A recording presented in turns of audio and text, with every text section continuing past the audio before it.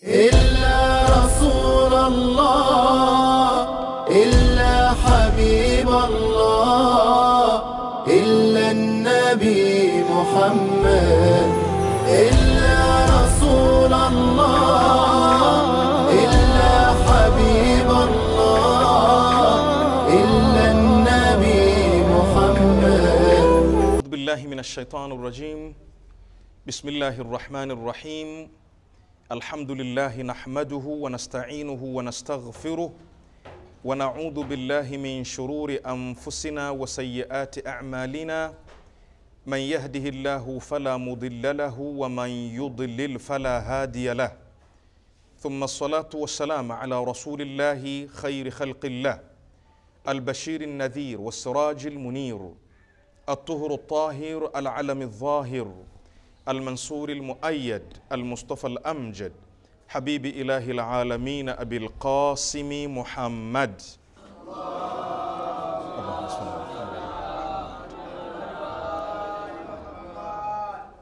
أيها الأحبة أحييكم بتحية الإسلام المباركة. السلام عليكم ورحمة الله وبركاته. أنتم عباد الله. نصب أمره ونهيه وحملة دينه ووحيه وأمناء الله على أنفسكم وبقية استخلفها عليكم فجعل الله الإيمان تطهيرا لكم من الشرك والصلاة تنزيها لكم عن الكبر والزكاة والزكاة تزكية للنفس ونماء في الرزق والصيام تثبيتا للإخلاص. أنتم عباد الله. نيني واجا ومن يزمون نصب أمره ونهيه. نيني ndiyo nuswabu amri ndiyo liyowekwa ni Mwenyezi Mungu Subhanahu wa Ta'ala kusimamia amri zake. Maneno haya katika mlolongo wa darasa zetu za khutba ya maulatuna wa sayyidatuna Fatimatu Zahra salawatullahi wasalamuhu alaiha salli ala Muhammad. Katika darasa yetu ya tatu, moja kwa moja tunaelekea katika kipengere Fatimatu Zahra anawaelekea masahaba, anawaelekea Waislamu, anawaambia Waislamu, nyinyi ni nuswabu amrihi wa nahye, nyinyi ndiyo wasimamizi wa amri za Mungu na makatazo yake katika kanuni na sheria za Mwenyezi Mungu Subhanahu wa Ta'ala zilizowekwa ardhini, zilizowekwa hapa duniani. Kuna amri za Mungu na kuna makatazo ya Mungu, iwe katika vichwa vyetu, iwe katika fikra zetu, ya kwamba amri zote ambazo Mwenyezi Mungu Subhanahu wa Ta'ala ametuamrisha, basi tutambue ya kwamba amri hizo ni kwa ajili ya maslahi yetu sisi kama vile wanadamu. Chochote ambacho Mwenyezi Mungu ametuamrisha, kwanza kina maslahi na sisi hapa duniani kabla ya kuwa na maslahi nacho kesho akhira.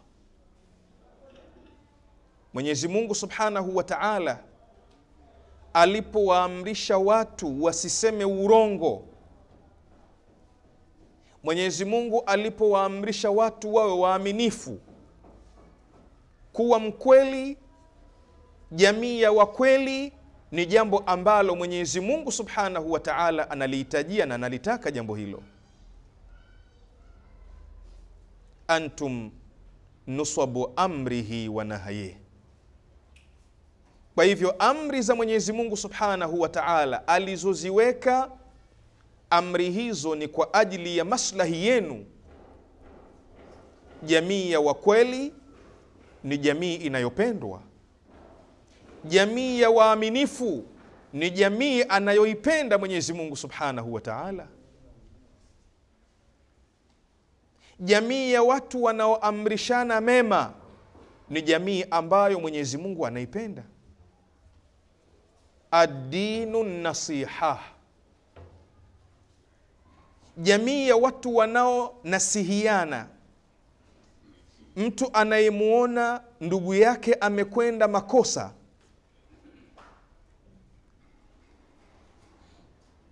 ukamnasihi kwamba unavyokwenda sivyo, nenda hivi, yote hayo yanarudi kwenye maslahi yenu.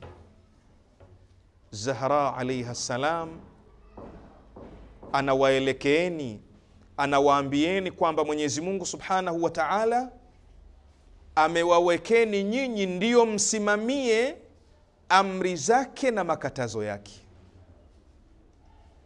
Makatazo ya Mwenyezi Mungu subhanahu wa taala aliyoyaweka hapa duniani yote ni kwa maslahi yenu hapa duniani kabla ya maslahi ya akhira. Mwenyezi Mungu alipotoa maelekezo na kutoa makatazo ya kula nguruwe, akasema kwamba msile nguruwe.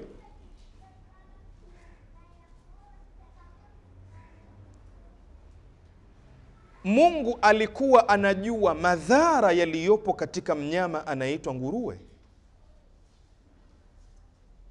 Mungu alikuwa anajua natija ya mtu anapokula nguruwe. Mwenyezi Mungu alipoamrisha kwamba lazima watu waache kamari, alipotoa makatazo msicheze kamari, Mungu alikuwa anajua madhara ya kamari. Wangapi wamefilisika waliokuwa matajiri wakubwa, lakini kwa sababu ya kamari wakafilisika.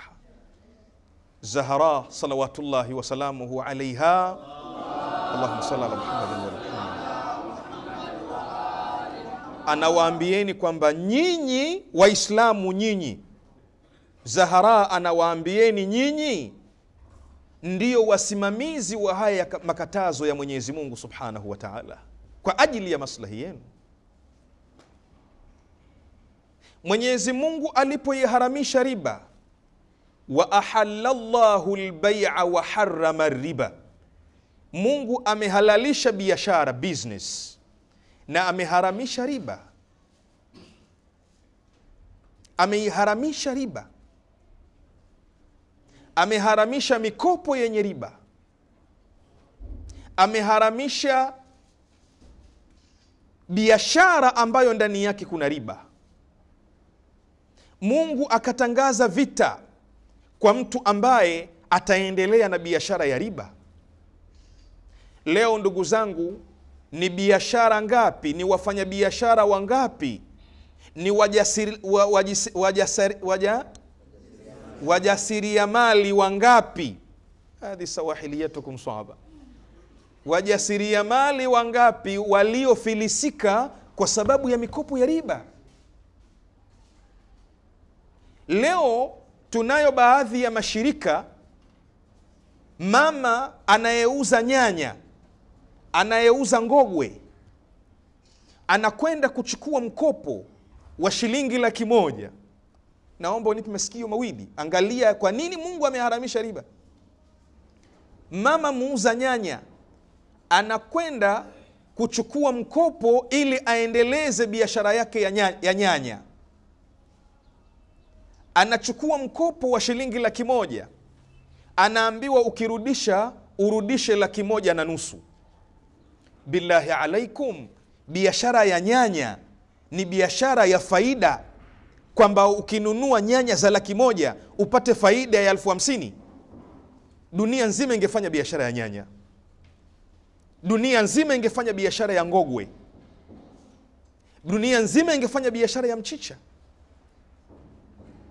Mama huyu anapochukua mkopo wa hiyo shilingi laki moja arudishe laki moja na nusu. Angalia kinachotokea. Kinachotokea nini? Kinachojitokeza, mama huyu baada ya siku mbili tatu, biashara imekufa, imefilisika. Na akishafilisika, waliomkopesha wanakuja kuchukua vitu vyake vyote alivyoviandika katika mkopo, wanamuacha ni maskini wa kutupa. Ndiyo maana Mungu akaharamisha riba. So matatizo ya riba ya kuharamishwa riba yako hapa duniani kabla ya kesho akhira. Wangapi walikuwa matajiri wakubwa wakimiliki manyumba, wakimiliki nyumba za kulala wageni, wakimiliki magari, wakimiliki kila kitu unachokitambua. Pamoja na hayo yote, watu hao leo wamekuwa ni maskini wa kutupa. Kwa nini wamekuwa maskini wa kutupa? Wamekuwa maskini wa kutupa kwa sababu ya biashara, kwa sababu ya biashara ambazo ndani yake kuna riba. Wapo wengi, wapo wengi.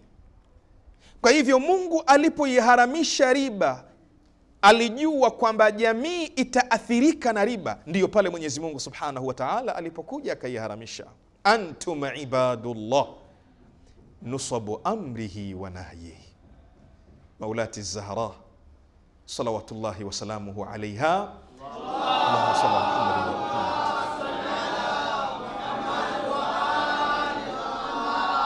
Anawaeleza Waislamu katika jambo hilo. Ndugu zangu, kuacha yale ambayo Mwenyezi Mungu ameyakataza, kwa ibara nyingine, kuacha maasi ni kwa ajili ya usalama wenu. Dhahara alfasadu fi lbari walbahri bima kasabat aidi nnas, uharibifu wote unauona duniani leo hii ni kwa sababu ya nini? Bima kasabat aidi nnas, ni kwa sababu ya mikono ya wanadamu. Leo wasomi na viongozi wa dunia wanakaa kufanya discussion, kudiscuss, kujadili kuhusiana na dunia inazidi joto. Kwa nini? Kwa sababu wanadamu baada ya, kufu, ya kufungua viwanda vingi vyenye gesi ya makemiko, gesi hii ambayo inapanda juu imeharibu ukanda wa ozoni. Ukanda wa ozon ni ukanda ambao jua linapopiga haliji moja kwa moja duniani, linapiga kwanza kwenye ukanda wa ozoni, alafu ukanda wa ozon unachuja miale ile na kuja jua jepesi. Leo huu ukanda umetobolewa tundu. Kwa nini? Kwa sababu ya mikono ya wanadamu. Leo joto linazidi duniani. Sehemu ambazo zilikuwa zina barafu ambayo haiyeyuki, leo zinayeyuka sehemu hizo. Hayo ni madhara yanayotokana na mikono ya wanadamu. Billahi alaikum, iweje leo ni kitu cha kawaida kufariki kijana? Ni aibu katika ulimwengu wa sayansi na teknolojia. Leo vijana ndio wanaofariki. Serikali na taifa linakosa nguvu kazi. Leo ukiangalia wazee wanaokufa na vijana wanaokufa, vijana ni wengi, wanaokumbwa ni maradhi ya kensa, Mungu atuepushie maradhi hayo mabaya. Wanaokumbwa ni maradhi ya AIDS, ukimwi, Mwenyezi Mungu atuepushie maradhi hayo. Wanaokumbwa ni maradhi mengine ya ajabu ajabu ambayo hayakuwepo katika ndugu. Dinu nasiha, dini ni kuishi vizuri, ndiyo maana dinu nasiha Dini, mtu anayeambiwa ana dini ni mtu wa aina gani? Ni yule mtu ambaye anamuona ndugu yake katika imani au ndugu yake kiuwanadamu. Ndugu yako imma akhullaka fi din, ndugu yako ima ni ndugu yako katika dini. Wewe ni Muislamu na huyu ni Muislamu, au la ni ndugu yako katika wanadamu. Hivyo ndiyo dini inavyosema.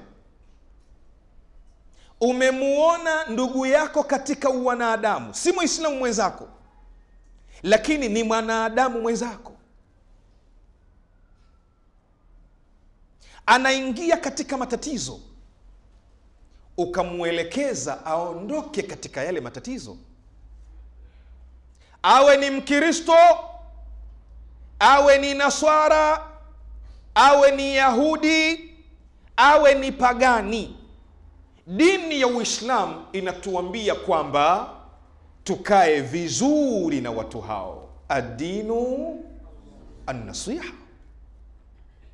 Alimamu Sadiq Jafar bin Muhammad salawatullahi wasalamuhu alaihi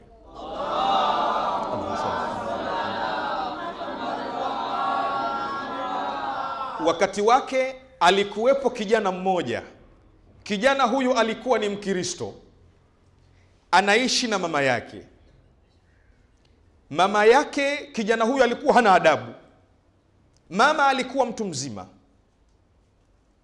hamwandalii chakula vizuri hamlishi vizuri, hamvishi vizuri. Mama anapomsemesha neno anamnyanyulia sauti, hana adabu na mama yake. Lakini kijana huyu katika kukaa kwake akawa anahudhuria kwenye vikao vya Maulaya Sadiq alaihi salam, akawa anakwenda darasani, anahudhuria, anasikiliza lecture za Alimamu Sadiq, mjukuu wa Bwana Mtume sallallahu alaihi wasallam. Basi kijana huyu akaathirika na lecture za mjukuu wa mtume sallallahu alaihi wa alihi, akaathirika, akenda mpaka siku moja akanyanyua mikono kwa kusema ashhadu an la ilaha illa Allah wa ashhadu anna muhammadan rasulullah. Kwa ibara nyingine akatangaza kwamba kuanzia leo mimi ni Muislamu, si Mkristo tena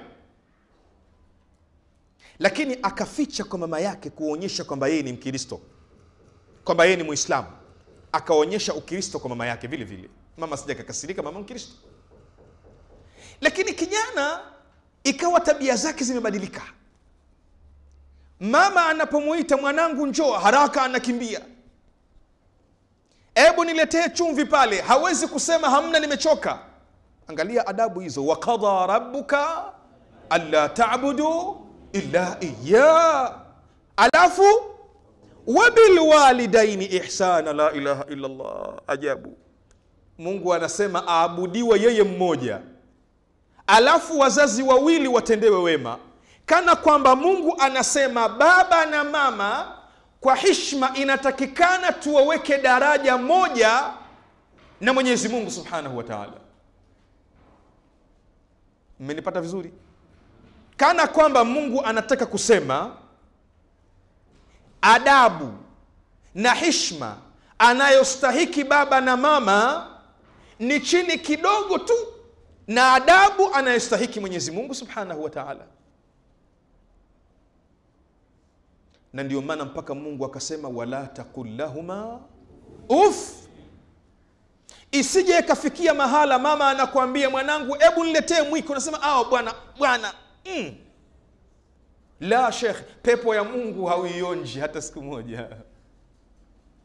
Mama anasema mwanangu, niletee chuno. Mama, bwana, nimechoka sana, natoka shuleni. Shekhe, ujui huingii pepo ya Mungu mpaka mama aridhie.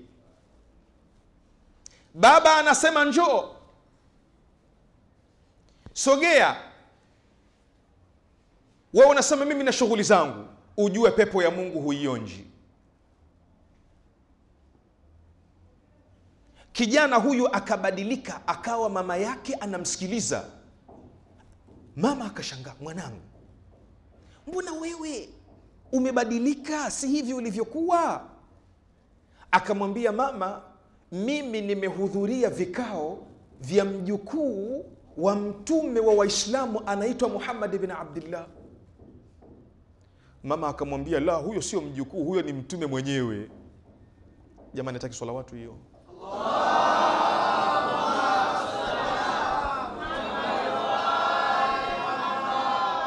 huyo anayefunza mambo haya mwanangu ulikuwa nkikuagiza chumvi huleti chumvi.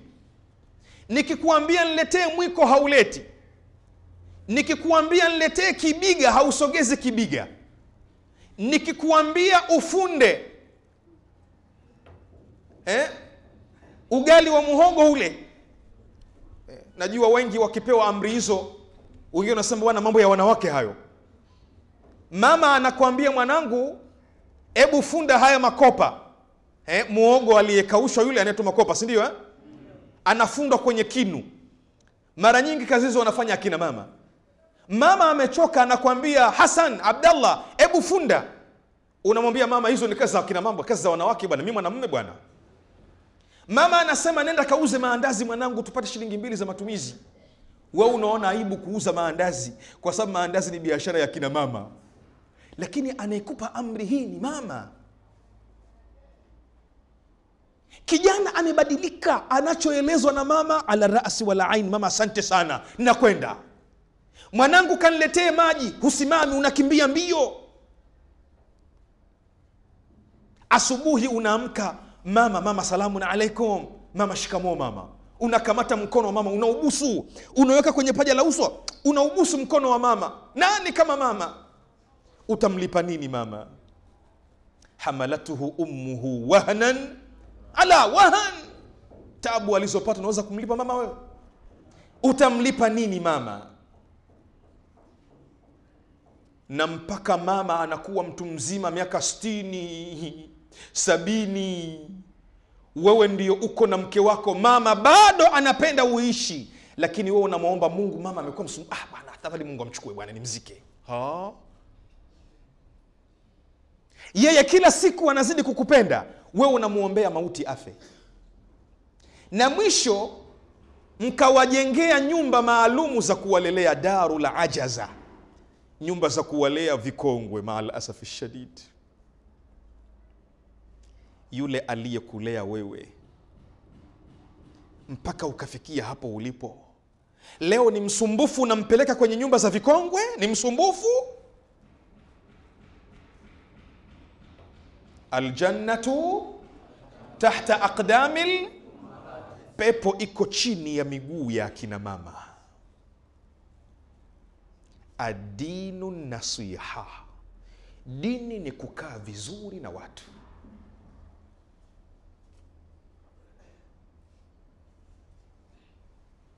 zahra salawatullahi wasalamuhu alaiha allahuma sali ala muhammad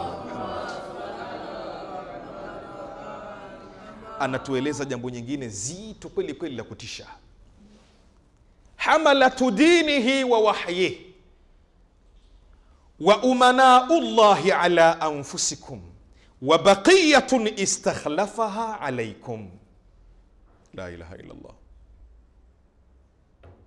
maulatuna zahara anasema hivi nyinyi waislamu nyinyi ndio watu ambao mungu amewaacheni makhalifa hapa duniani. Wewe ulioko hapa duniani ni mwakilishi wa mwenyezi mungu subhanahu wa taala. Unamwakilisha mungu. Ukitembea barabarani ujue wewe ni wakili wa mungu. Ujue wewe ni khalifa wa mungu watu watamjua mungu kupitia wewe. Kama utaonyesha tabia za kutukana utaonyesha tabia za ubabe mnaita ubabe. Utaonyesha tabia za kwamba wewe hakuna mtu anakushinda. Wewe bwana umesoma karatee miaka sita karatee unaweza kumpiga yoyote. Ndugu zetu wa kigoma kigoma kule wanazo dawa za kiasili kule. Wana miti yao ile wanakunywa ndani ya mwili na watu wa kongo kongo huko. Wewe una nguvu unaweza kumpiga yoyote. Kwa hiyo hakuna kinachokushinda. Ujijue kwamba wewe ni khalifa wa mungu. Wewe ni khalifa wake. Sasa ukumbuke kwamba malaika, Mungu alipotaka kukuumba wewe, Mungu alimwambiaje? Malaika walimwambia Mungu, atajalu fiha man yufsidu fiha wa yasfiku dima, unataka kuwacha hapa duniani, unataka kuumba viumbe ambao watakuja kuwa waharibifu, watakuja kuwa umwagaji wa damu. wa nahnu nusabbihu bihamdik wa nuqaddisu lak, sisi tunakusabihi, tunakutakasha, tunakusifu. wanukadisu lak, kila kitu tunakuheshimu wewe. Mungu akasema la inni a'lamu ma la ta'lamun, sisi ni makhalifa wa Mungu hapa duniani tukionyesha tabia nzuri, tukionyesha maelewano wa mazuri, tukionyesha kwamba dunia aa, sio kama walivyosema malaika kwamba ni mahala pa kumwaga damu. Aa, ni mahala pa utulivu na amani, ni mahala pa upendo na masikilizano na maelewano. Tutakuwa ni wawakilishi wa Mungu wa kisawasawa.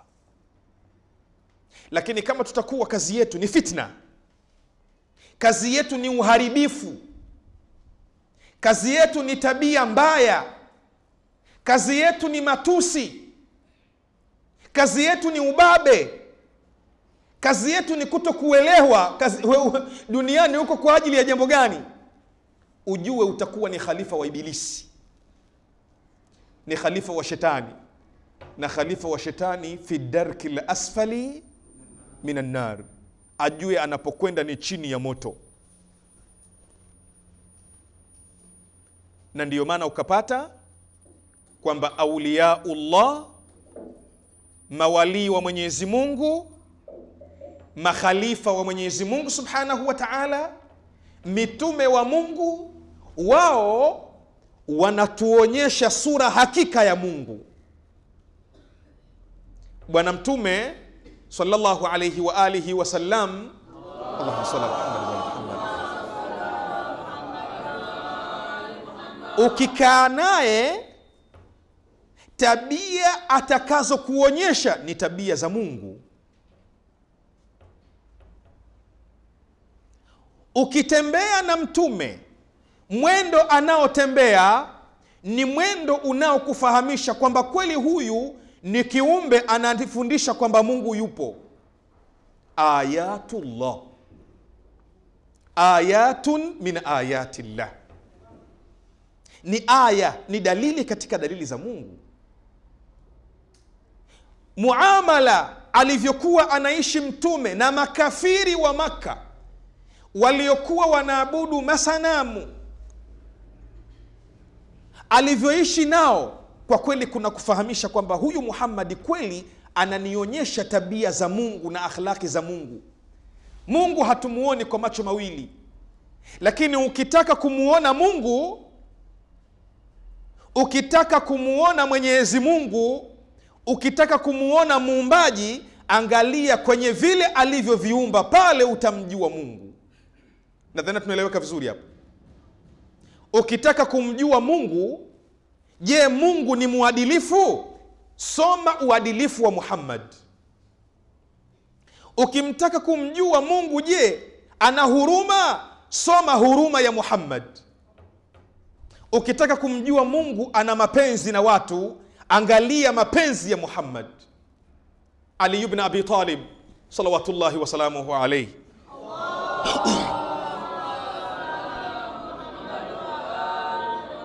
alikuwa anapokuja katika majlis, anapokuja katika kikao, masahaba wanasemaje? La ilaha illa llah jaa aliyun wasala aliyun أقبل aliyun. La ilaha illa Allah, Mungu ni mmoja, Ali amekuja. Kwa nini Ali amekuja? Kwa sababu Ali ni walii katika mawalii wa Mungu. Ukimwona Ali anakukumbusha aliyemtengeneza Ali, aliyemuumba Ali, aliyemsawazisha Ali.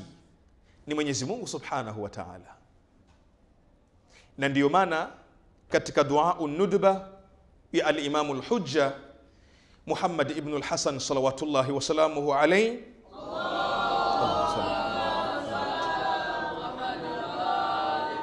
tunasomaje?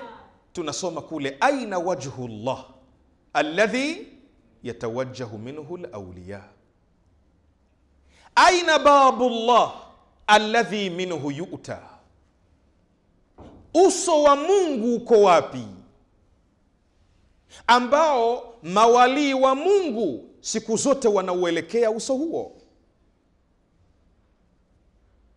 Kwa maana ukitaka kumtambua Mwenyezi Mungu subhanahu wa taala, wako watu watu hao ukiwaona kweli wanakufundisha ya kwamba Mungu yupo.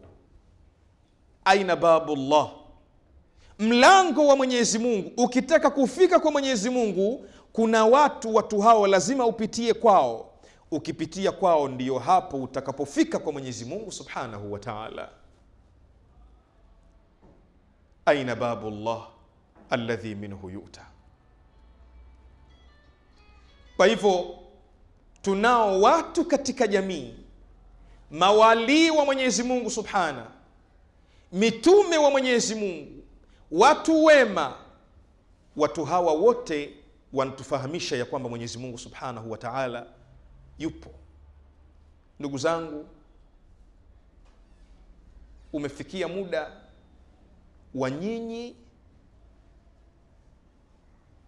kuvaa sifa za Mungu. Mtakapozivaa sifa za Mwenyezi Mungu subhanahu wa taala, mtawafunza watu dini ya Mungu biafalikum, kwa vitendo vyenu. Dini ya Mungu haitoenezwa kwa maneno mengi. Dini ya Mungu itaenezwa kwa vitendo vyenu, tabia zenu nzuri, akhlaqi zenu nzuri, mahusiano yenu mazuri na jirani zenu, mahusiano yenu mazuri na watu mnaokaa karibu nao, mahusiano yenu mazuri na familia zenu, mahusiano mazuri na watu wote duniani ni jambo litakalowafanyeni kweli nyinyi ni makhalifa wa Mwenyezi Mungu subhanahu wa ta'ala. Antum ibadullah nuswabu amrihi wa nahyih wa hamalata dinihi wa wahyih wa umanau llahi ala anfusikum wa baqiyatun istakhlafaha alaikum. Zahra anaingia kwenye nukta nyingine nzuri na muhimu, nukta ya kuelezea falsafa za akida na falsafa za ibada. Fajaala llahu limana tathiran lakum min ashirk, Mwenyezi Mungu akajalia imani, akajalia kumwamini Mungu mmoja, tathiran lakum min ashirk ni kuwataharisheni nyinyi na shirki na ushirikina. Kumwamini Mwenyezi Mungu subhanahu wa taala ya kwamba Mungu yupo na Mungu huyo ndiyo mtawala wangu, linawasafisheni nyinyi na shirki.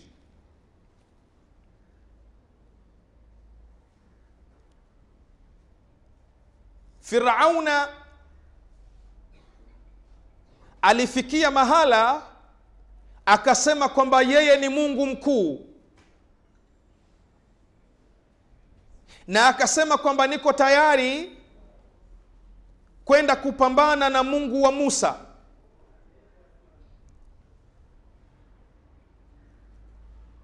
Na Musa alipoleta miujiza ya kuiangusha fimbo na kubadilika kuwa nyoka na kuutia mkono kwenye kwapa lake au mfuko wake na kubadilika kuwa kama mwezi, wachawi waliokuwa amewakusanya Firauna wote wakasalimu amri, wakasema kitendo alichokuja nacho Musa huu sio uchawi. Wakasema tumemwamini Mungu wa Musa. Firauna akasemaje? Akasema nitawakateni mikono na miguu yenu kwa kupachana, alafu nitawasulubisha katika magogo na miti ya mitende. Lakini mabwana walisemaje? faqdi ma anta qad, fanya utakavyo, innama taqdi hadhihi lhayata dunya, wewe unahukumu tu katika uhai wa dunia. Inna amanna birabbina, sisi tumemwamini Mungu. Angalia maneno hayo. Kwa kitendo chao cha kumwamini Mungu wakawa tayari wamekana uungu wa Firauna na uungu wa vitu vingine vyovyote, kwa sababu imani ina tabia ya kumtaharisha mtu. Angalia msimamo waliokuwa nao, sijui mmenipata vizuri hapa. Kitendo cha kumwamini Mungu mmoja, ya kwamba huyo Mungu ndiye anayenufaisha na ndiye anayedhuru, ndiye anayefanya kila kitu. La haula wala quwata illa billah, yote yako mikononi mwa Mwenyezi Mungu subhanahu wa taala. Angalia kitendo chao cha kuamini Mungu, akasafisha nyoyo zao, tathiran lakum min ashirk, Mungu akawasafisha na ushirikina. Na kumshirikisha Mwenyezi Mungu subhanahu wa taala. Ndugu zangu, ili imani ya kwamba Mungu ni mmoja na Mungu ndiyo kila kitu, imani hiyo itakapokuwa ya kisawasawa, imani hiyo ndiyo imekutwaharisha sasa na aina zote za ushirikina. Wakati wa Firauna alikuweko mama mmoja ambaye alikuwa ni msusi akiwasuka watu. Mama huyu siku moja akenda kumsuka binti yake Firauna. Alipokuwa anamsuka binti ya Firauna, shanuo alilokuwa analitumia likaanguka ardhini. Lilipoanguka ardhini, pasi na kujitambua, yule mama akasema maneno yafuatayo: bismillahi taisa firaun, kwa jina la Mungu Firauna ameangamia. Bismillahi taisa firaun. E, binti ya Firauna akamwambia, we mama, mbona leta mambo ya itikadi za ajabu hivi? Wewe unamwamini Mungu mwingine asiyekuwa baba yangu? awalaki rabbun ghaira abi wewe una Mungu mwingine asiyekuwa baba yangu? Mama yule msusi akamwambia, naam, ndiyo. Rabbi wa rabbukillah, bwana wangu mimi na bwana wako wewe ni nani? Ni Mwenyezi Mungu subhanahu wa taala. Akamwambia, awa ukhbiru bidhalika abi Je, nikampe habari baba yangu Firauna, Mungu mkuu? Akamwambia ndiyo, ukipenda nenda kampe habari. Angalia imani inavyokutoharisha. Firauna ni mtawala, jeshi liko chini ya mikono yake, serikali iko chini ya mikono yake. Wewe umemtukana kiongozi wa nchi Rais wa Jamhuri ya Muungano wa Tanzania, alafu unaambiwa nitakwenda kusemea kwa Kikwete, utasemaje? Naona utatamani kwamba ardhi ipasuke uingie hapo ndani. Au umemtukana kamanda Kova, eh, alafu wafanyakazi wake na kwamba tunakwenda kukusemea kwa kamanda Kova, wewe utafanyaje? Utatamani ardhi ipasuke. Lakini mama huyu kwa sababu ya imani ya kwamba Mungu ni mmoja, kova wala kikwete wala sijui rais bushi wala clinton wala regan mbele za mwenyezi mungu subhanahu wa taala si lolote si chochote. Iman kumwamini mwenyezi mungu subhanahu wa taala.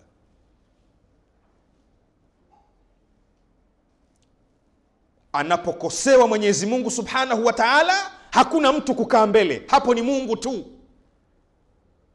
Mama anamwambia nenda kamweleze firauna mtawala wa nchi kampe habari kwamba mimi nasema hakuna mungu mwingine. Mungu wangu mimi na mungu wake ni allah.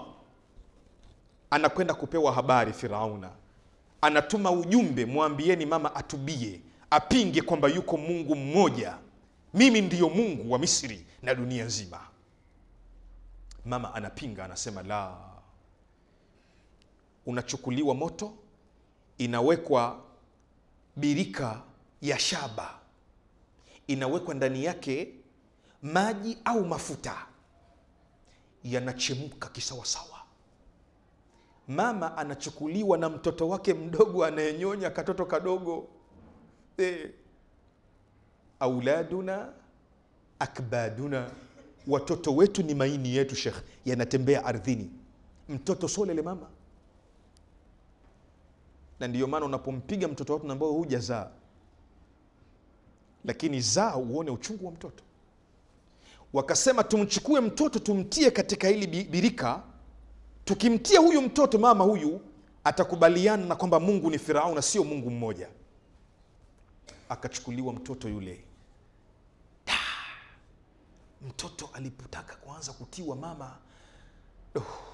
Jamani mwanangu anaunguzwa. Afadhali niunguzwe mimi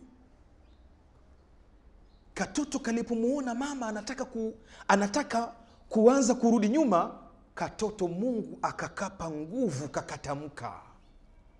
Kakasemaje? Kakasema ya ummi kai wala tatakasi lhaq Allahumma salli ala Muhammad. mama mama mama ingia katika tanuri ingia katika birika hilo la moto. Ingia. Wala usirudi nyuma. Wewe uko katika haki. Usiwe na hofu yoyote. Mashaallah katoto kakakamatwa kakatupwa ndani. Mama na yeye hakurudi nyuma akakamatwa akatupwa ndani. Abu abdillahi lhusain salawatullahi wasalamuhu alaihi